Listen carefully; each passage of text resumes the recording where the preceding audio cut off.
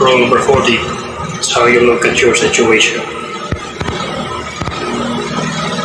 When you really sit back at your life and you are in that dark room and you're looking at where you started from and you tell yourself, God, dog, man, my, my mom is this way. My soon be stepdad got murdered. My dad beat the shit out of me.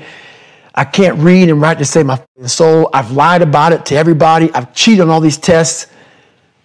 My God, man. And then you put a goal in your mind. How are you going to feel, man, when you accomplish this goal coming from that shit? Coming from the hell you came from.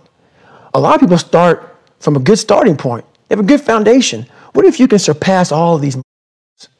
What if everybody who was way up here started up here and you had you started with no legs. You had to grow legs to even start walking and then crawling and then running. And then you start passing people and all this given to them.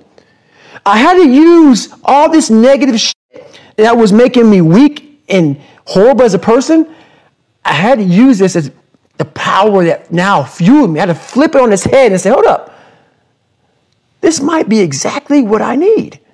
The darkness is exactly what I need. It's how you look at your situation. And I was looking at it all up. Thanks for watching. I hope you enjoy the video.